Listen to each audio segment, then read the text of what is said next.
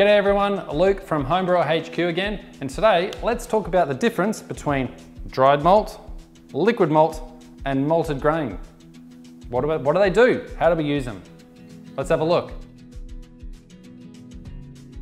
Okay, so light dried malt, liquid malt, and malted grains. These are pretty much all the same ingredient, but in different forms. So, life starts here with malted grains. The sugars that are extracted from these grains are boiled down and, and reduced to create a liquid form, which is liquid malt. Or the drying process goes even further to make it a dried malt. Adding any of these ingredients to your home brewing will really lift the flavor, the mouthfeel, and the head retention and potentially the aroma.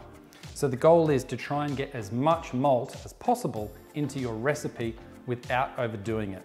Dried malt, you can use quantities up to about three or four kilos in extract brewing. You can make your entire base of your recipe with, with the dried malt. Same goes for liquid malt. You've got a few more options because it can come in general barley malt. You can also get rye malt. You can get light, medium, sort of amber, even darker malts. So you've got more options with this in different styles of liquid malt available to you should you choose different recipes. Adding liquid malt will add a depth of flavor to your beer. It'll really be noticeable. Using grains, the idea is if you can use 100% of malted grains, you're going a long way to producing fantastic homemade beer.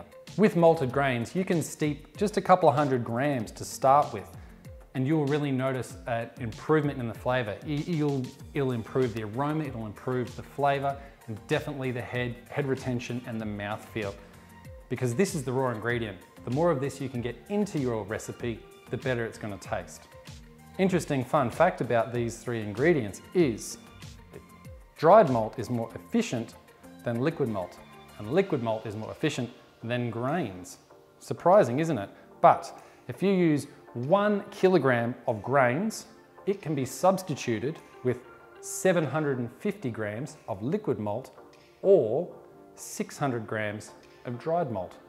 So try and get as much malt as you can into your recipes. You'll notice a big difference.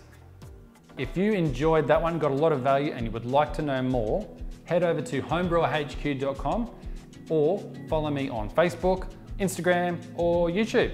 So get doing and get brewing.